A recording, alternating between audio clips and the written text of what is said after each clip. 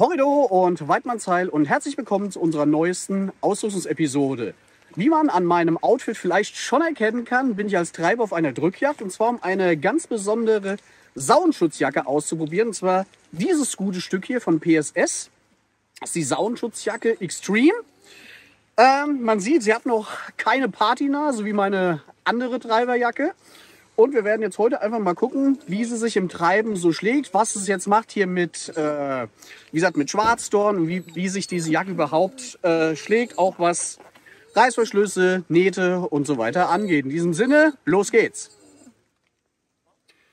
So, aber bevor wir jetzt aufbrechen, neben mir Michel Lauer, der heutige Treiberführer. Wir kennen uns auch schon ein paar Jahre, haben ein paar Drückjachten schon zusammen durchgestanden. Das eine oder andere Erlebnis gehabt, ja. Ganz genau, ja. So, so Michel, wie du siehst, funkelnagelneue Jacke, noch ohne Patina.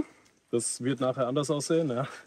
Was würdest du denn sagen, was sind denn die Kennzeichen von einer richtig guten Durchgeh- oder beziehungsweise Treiberjacke? Das Wichtigste ist, dass sie robust ist, das heißt, dass Schwarzdorn und Brombeeren eben nicht durchgehen und dass sie dicht ist. Na, Flüssigkeit oder Wasser am Körper führt zur Auskühlung, brauchen wir nicht bei der Yacht. Und es muss halt den Schweiß im Idealfall abtransportieren, aber dafür ist die Unterkleidung zuständig. Wir schauen uns nachher mal alles an, wie sie sich gemacht hat. Gut, das machen wir. Gut, und los geht's jetzt. So, jetzt stellen wir uns auf. Und dann geht's hier ab durch den Wald. So. Erste Härteprüfung. Schwarzdorn. Und erste Bewährungsprobe für die Jacke. Oh, oh Mann, ey. So. Ah, Erste Runde geschafft. Neuaufstellung am Weg. Und bis jetzt muss ich sagen, Jacke ist dicht und hält auf jeden Fall auch die Dornen fern. Also bis jetzt zufrieden. So, prima, hier sieht man auch, warum es wichtig ist, durch den Schwarzton durchzugehen. So, und das ist jetzt noch der Weg, den wir zu gehen haben. Man sieht es vielleicht auch hier gerade sehr schön an den, an den Tröpfchen. Also wasserabweisend ist auf alle Fälle. Trocken bin ich auch. Und weiter geht's. Wie gesagt, hier super Verhältnisse. Ja. Ah. Sumpf und Schwarzdorn, was gibt's Schöneres? Aber die ersten Schüsse sind schon gefallen, das ist schon mal gut. So, Treiben ist rum. Ihr seht, die erste Patina hat die Jacke angesetzt. Ich kann auf jeden Fall schon mal beurteilen, sie ist auf jeden Fall trocken und rissfest. Aber ich werfe jetzt noch mal einen genaueren Blick auf die gesamte Verarbeitung, weil ich will jetzt auch raus aus der Klamotte.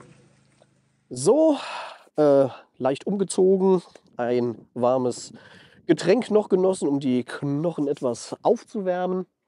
Ähm, aber das lässt mir natürlich jetzt auch Zeit, ein Fazit zu ziehen zu dieser PSS ähm, Extreme Schutzjacke.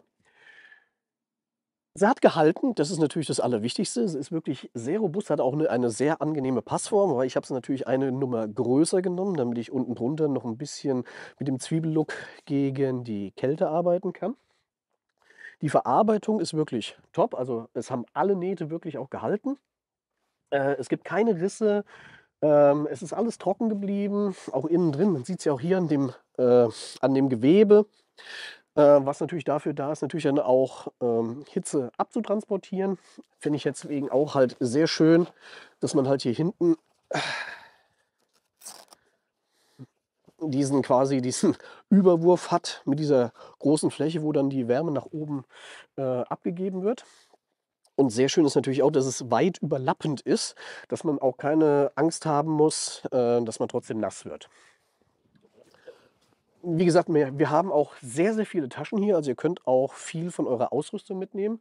Hier vorne, eigentlich eher, glaube ich, prädestiniert für ein Walkie-Talkie, hatte ich mein Handy drin. Das finde ich auch eine tolle Lösung. Man hat hier einen normalen Klettverschluss und noch eine Schließe, dass alles sicher ist. Dazu dann hier die große Tasche und hier noch eine große Tasche. Wobei hier, hab, das war dann aber mein Fehler, ähm, ich hatte hier eine Karte eingesteckt. Ähm, ich hätte vorher vielleicht in Klarsichtfolie packen sollen, das wäre vielleicht schlauer gewesen, weil hier kam dann doch Flüssigkeit rein und ist dann oben etwas aufgeweicht. Aber das sei mal dahingestellt. Wie gesagt, hier unten habt ihr noch Taschen, hier auf dem Rücken habt ihr noch eine Tasche, eine, eine große. Da hatte ich jetzt so ein kleines äh, äh, erste Hilfe-Package drin, weil wer weiß, was alles passieren kann. Nun gut, ähm, man kann noch dazu sagen, sie hat jetzt ihre erste Patina abbekommen, das gute Stück. Äh, interessant fand ich, das habe ich eben auch erst beim Ausziehen gesehen, dass ich auch beim ähm, auf allen Vieren durch den Schwarzdornkrabbeln auch noch hier noch was abbekommen habe.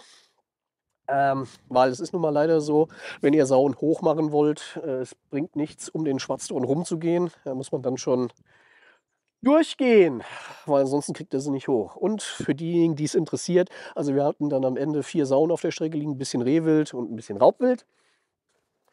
Ähm, was natürlich aber auch dann dazu geführt hat, dass ich nicht prüfen konnte, äh, wie gesagt, Durchstoß geprüft, ähm, ob sie wirklich durchstoßfest ist. Wobei, davon gehe ich jetzt einfach mal aus, weil die Dorn hat es auf alle Fälle abgehalten. Gut, wie gesagt, was Material, Verarbeitung äh, und Haptik und den ganzen, die ganzen Sachen angeht, bin ich wirklich sehr zufrieden. Jetzt kommen wir natürlich zu einer Sache, die immer wieder mal kritisiert wird. Ja, kostet 400 Euro. Aber ich muss ganz ehrlich sagen, das ist wirklich auch eine Jacke, die Jahre hält. Also eigentlich auch von der Robustheit her. Ähm, und die einfach dann auch entsprechende Sicherheit bietet, wenn es halt drauf ankommt. Weil sagen wir es, wie es ist. Wenn es mal zu einer Situation kommt, wo man denken würde, ach, hätte ich doch bloß so eine Jacke anstatt, anstatt eine andere, dann ist es in der Regel eigentlich zu spät. Und quasi allein schon hier diese, allein schon diese kleinen Lösungen, hier, dass die äh, Hände hier durchgehen. Auch hier ist wieder dieses äh, durchlässige Material. Also an der PSS äh, Extreme Saunjacke, äh, Saunenschutzjacke. Also ich habe da nichts auszusetzen, muss ganz ehrlich sagen beide Daumen hoch, wobei sich natürlich dann auch eher was für äh, Hundeführer, also die dann eher mal an ein wehrhaftes Stück kommen als so der Durchschnittstreiber. Aber ich kann es, wie gesagt, nur noch mal betonen. Also man kann sich auf diese Jacke wirklich verlassen. Ähm, und ich freue mich darauf, sie noch bei diversen Treiben tragen zu können. In diesem Sinne wünsche ich euch viel Weidmanns Heil und bis zum nächsten Mal.